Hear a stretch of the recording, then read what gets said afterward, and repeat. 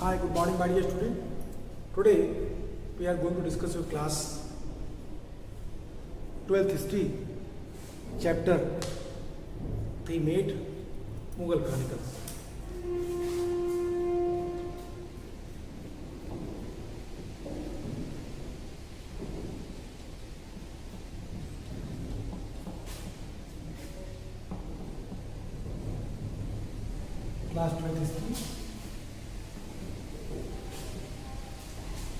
Chapter eight Mughal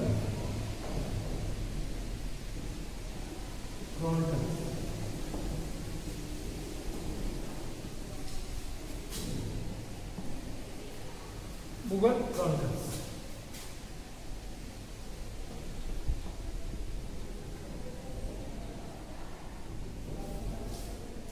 my dear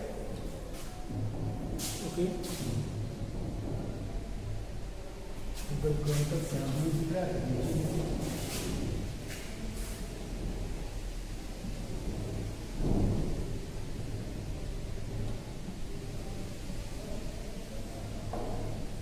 Mughal chronicles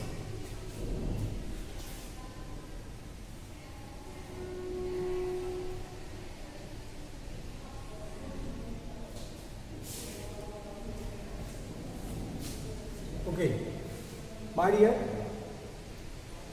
start this topic, this chapter, I would like to tell you about a little bit information about the chronicles.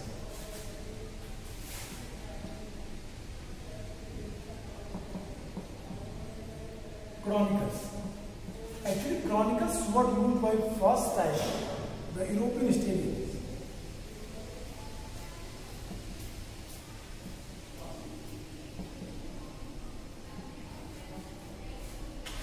European historians.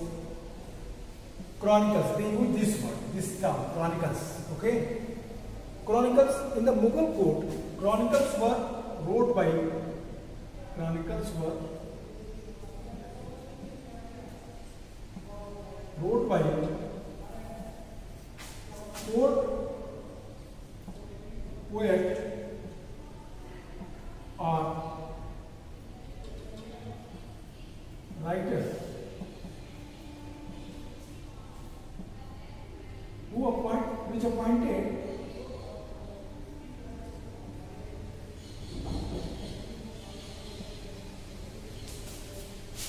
appointed in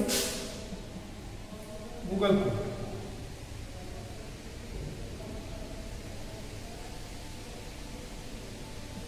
Okay तो जो Mughal court में लोग रहते थे, जो Mughal court में poet जो Mughal court में जो राइटर्स थे, जिनको मुगल रूलर्स अपॉइंट करते थे, कि वो कोर्ट की सारी घटनाओं को, किसकी? कोर्ट की। कोर्ट की सारी घटनाओं क्या करें? एकदम कंपाइल करें, लिखें। कोर्ट में जैसे राजा किसी को टाइटल देता है कोर्ट एक्टिविटीज़ के बारे में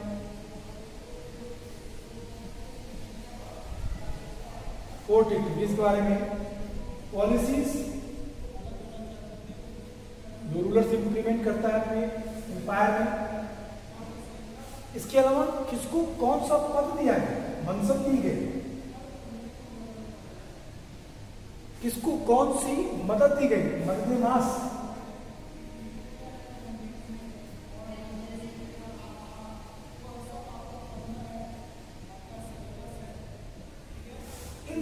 चीज़ों के बारे में I mean to say that all the evidence sorry all the incidents which happening in Mughal court it was compiled by the writers it was the compiled by the specific group who try to who try to write down every and each point which happening in the Mughal court Mughal दरबार में उस सारी चीज़ों को लिखने का प्रयास करते थे जो मुगल कोर्ट में होती थी first second thing is that the Mughal rulers what different actually Mughal rulers they were outsiders Babur वो belong to Afghanistan Fergana when he reach India decided that कि what how can we propagate our policies how can we prove that we are the actual ruler how can we what the famous in our citizens so that's why it is very important for every one कि कैसे सभी के साथ एक बराबर व्यवस्था बनाए?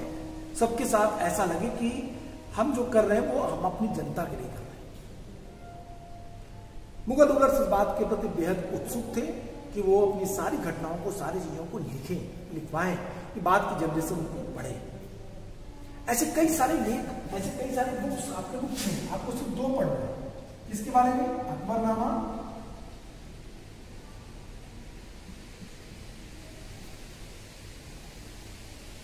And पादशाह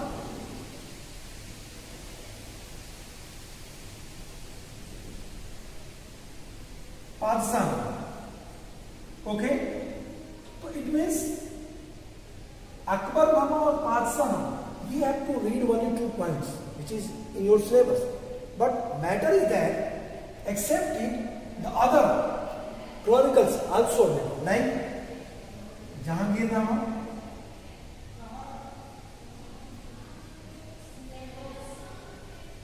Jahangir नामा हुमायूं नामा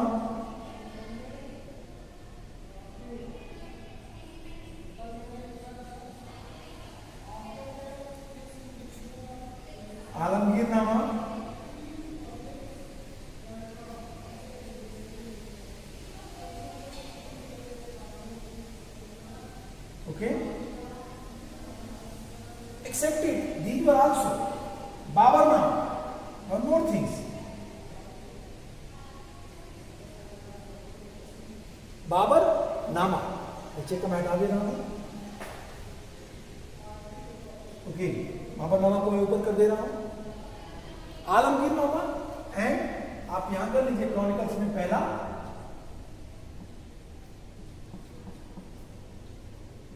बाबर ओके। अब here we have to think about that these chronicles were who wrote this chronicle किसने लिखा इनका तो पहले पॉइंट जो बाबर नामा है इसे बाबर ने खुद लिखा। इज़ इज़ दोग्राफी of Babur first time हिरोडी रेबिक form रवि में इसको लिखा। There after the मयूनामा Humayunnama written by Gulbadan Begum Gulbadan Begum was sister of Humayun okay special request from Akbar side that he auntie you have to wrote about something the our father Humayun Humayun के बारे में आप कुछ लिखिए। अकबर ने उनसे special request किया। तो Gulbadan Begum she was very intellectual lady and she started to write about उनके बारे में लिखना उन्होंने शुरू she wrote Humayunnama no doubt to say that this is the great source to understand the Humayun regime system, Humayun life. And Akbar, second, third book, Akbarnama. We will read about Akbarnama in the very class. In your this class, आप इसी class में हम अकबरनामा के बारे में विस्तार से पढ़ेंगे। अकबरनामा जो कि अबुल फजल ने लिखा। अकबरनामा जो कि अकबर के समय की सारी सूचनाओं को एक प्रॉपर फॉर्म में देने का प्रयास करते हैं। ओके तो अकबर के बारे में पूरी सूचनाएँ अकबर के बारे में पूरी डिटेल्स जो चीज़ें देती हैं वो सबसे महत्वपूर्ण है Akbar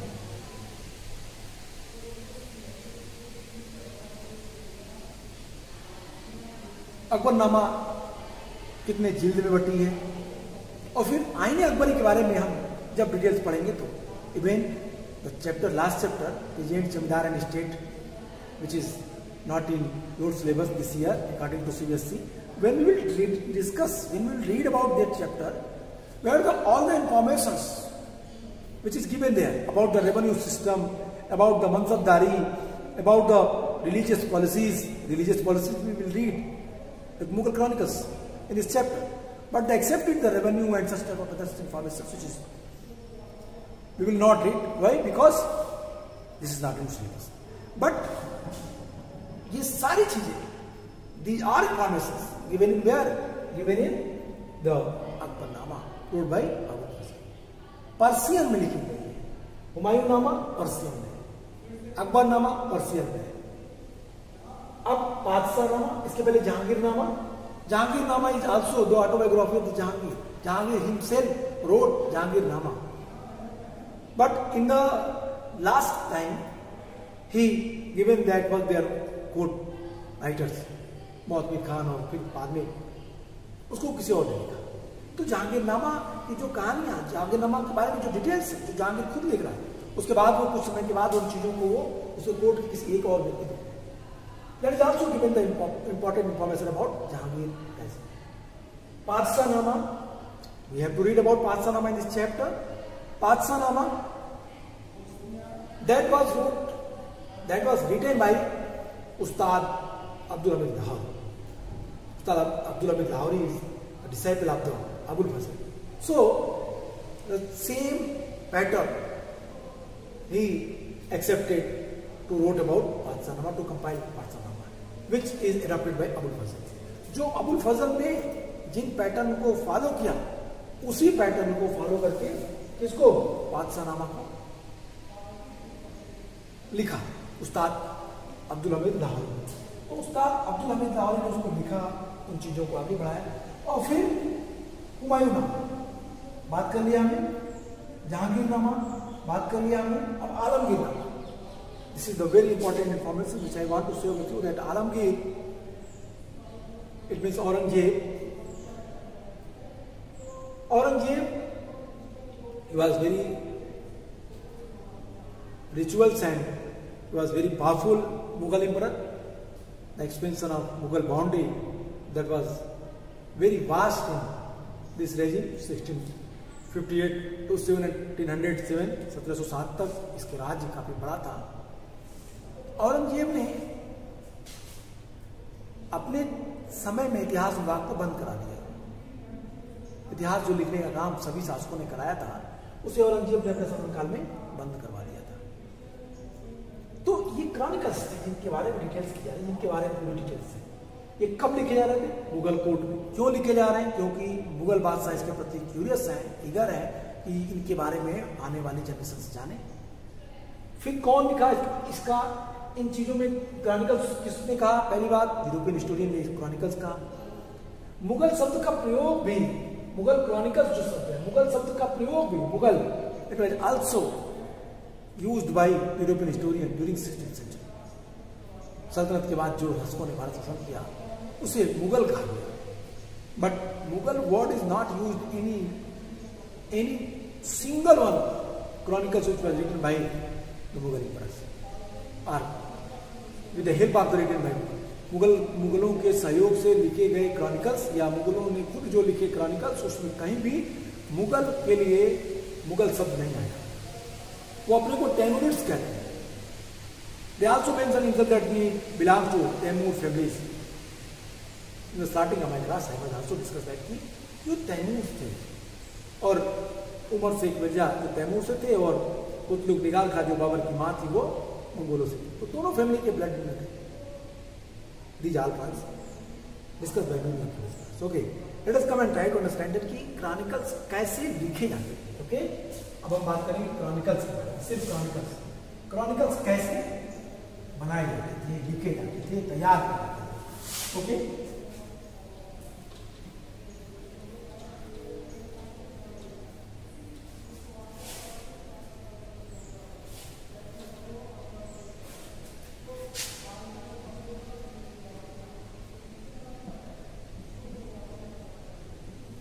chronicles okay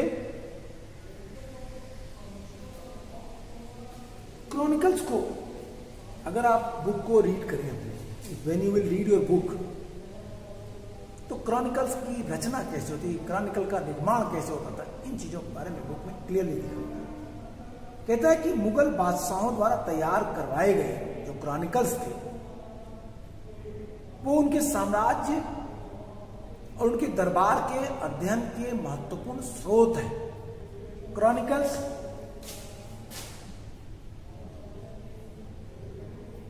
that is one of the source to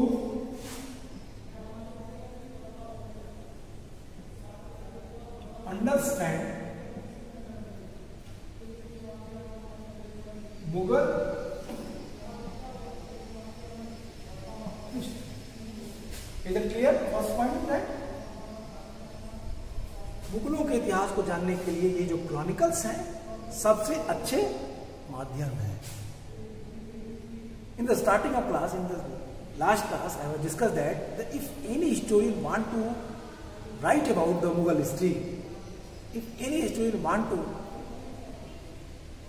understand if any historian want to know about that Mughals without read these chronicles, their informations, their knowledge, that, is, that will not be complete. पूरा नहीं होगा। So that's why I am saying कि जो ये chronicles लिखवाए गए मुगलों के द्वारा ये अपने में क्या थे?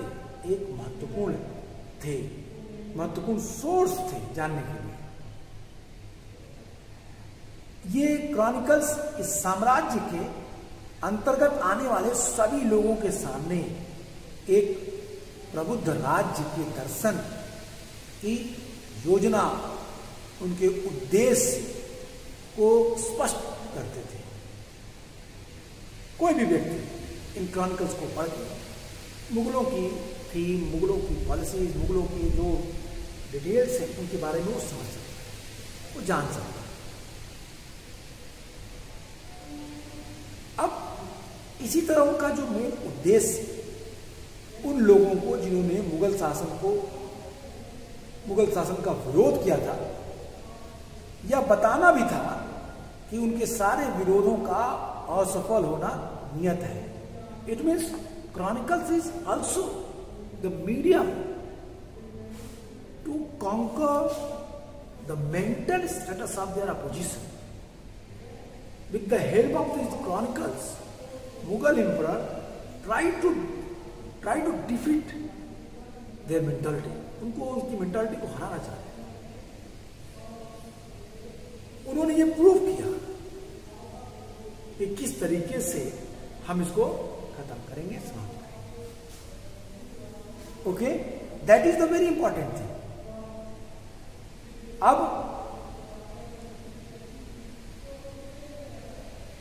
मुगल जो इतिवृत्त हैं जो मुगल क्रॉनिकल्स हैं वो ये स्पष्ट रूप से बताते थे कि यदि कोई शासक विद्रोह करेगा तो वो असफल ही होगा।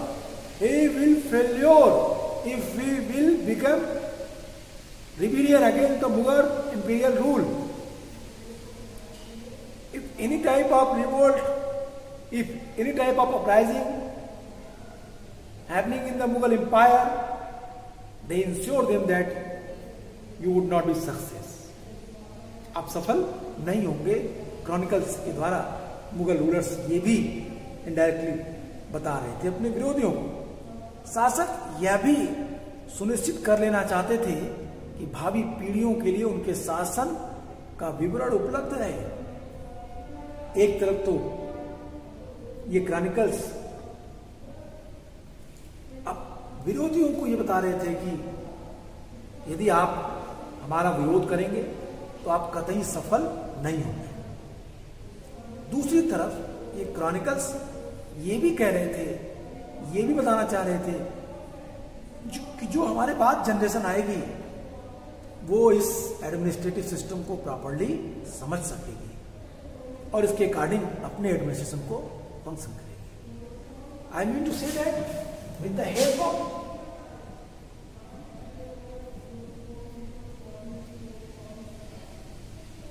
with the help of these chronicles.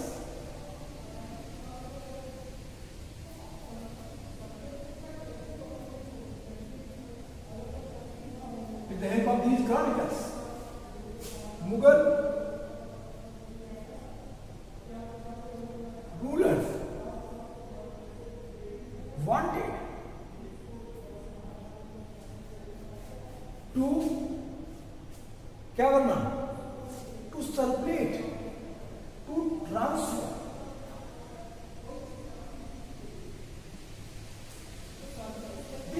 information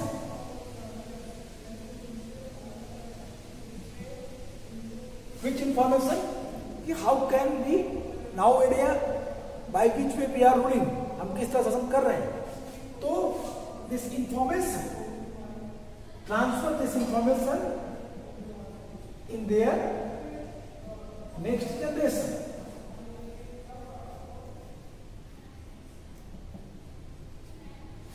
अपने अगली जनरेशन में मुगलों की शासन प्रणाली कैसी है?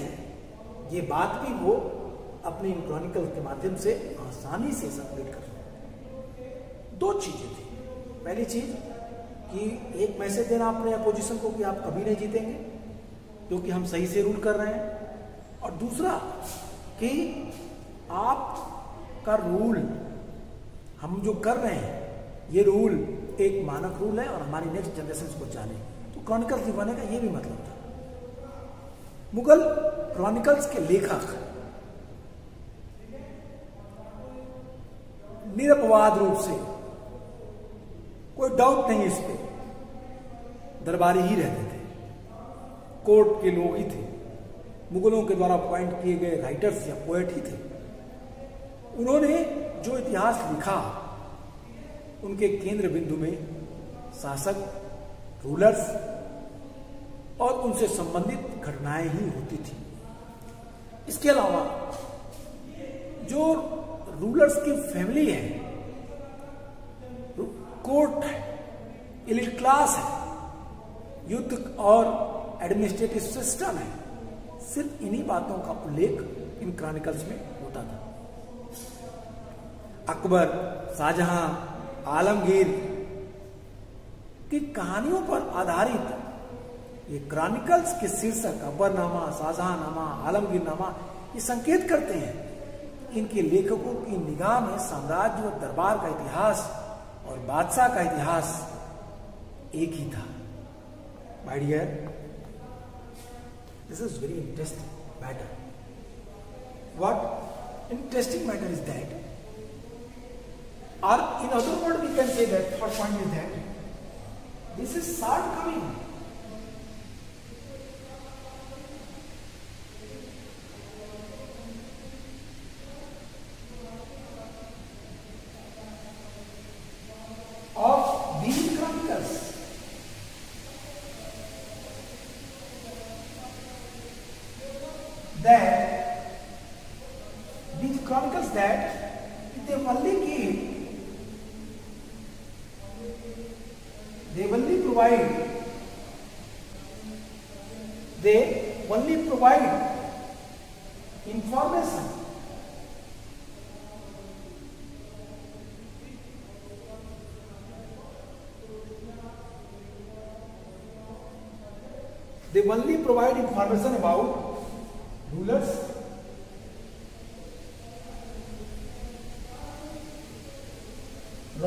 में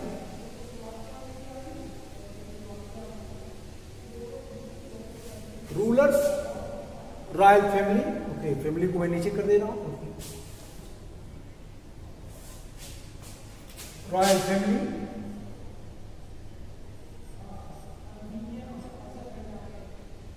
elite class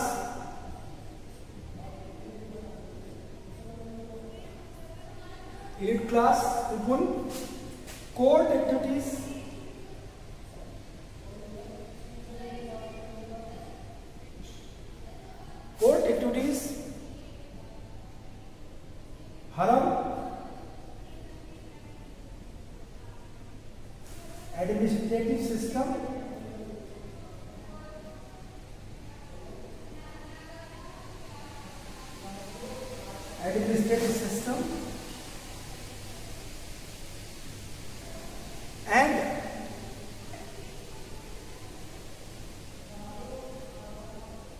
administrative system their campaign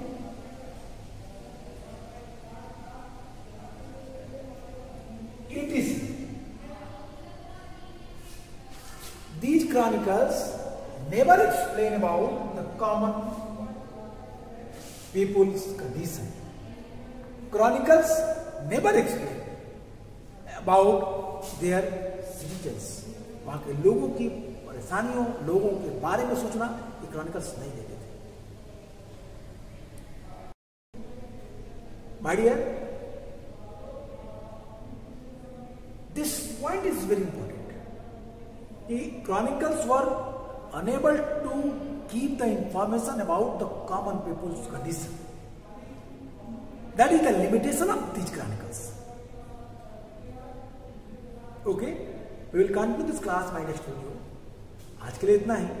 chronicles क्यों लिखवाए जाते थे? Today we discuss about that okay आज हमने इस, इस बात पे बात किया कि क्रॉनिकल्स क्यों लिखवाए जाते थे? क्रॉनिकल्स का क्या महत्व था? और क्रॉनिकल्स की क्या कमियाँ थी? तीन चीज़ों को हमने बात की नेक्स्ट क्लास में इसके आगे बात करेंगे। आज के लिए इतना ही। Good bye